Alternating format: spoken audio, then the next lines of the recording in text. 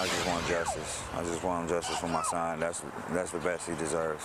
Tonight, we're hearing from the father of a Durham boy who was murdered during a family outing. Seven-year-old Kamari Munnerlin had just enjoyed a day at the pool when shots came through the SUV he was riding in. Our Amy Cutler spoke with his family and joins us live with their story. Amy.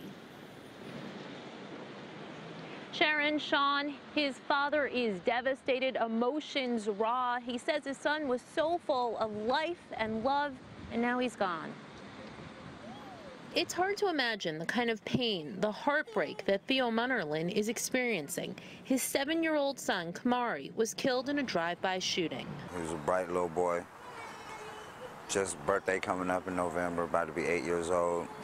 Ready, looking forward to it. All of that came to an abrupt end Sunday evening. Police saying the Eastway Elementary School first grader was in an SUV with his mother and eight other people, four of them children. They were coming from a local pool. That's when police tell us someone in another vehicle opened fire at them. The driver of that SUV then drove to a nearby Tokyo Express on Guess Road.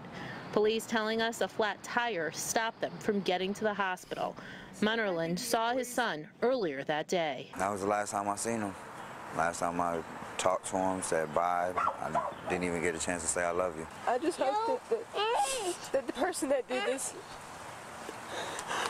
goes to jail and they never see the light of day again. Durham Police Chief C.J. Davis holding a press conference on the shooting. She called it tragic and senseless, but also targeted.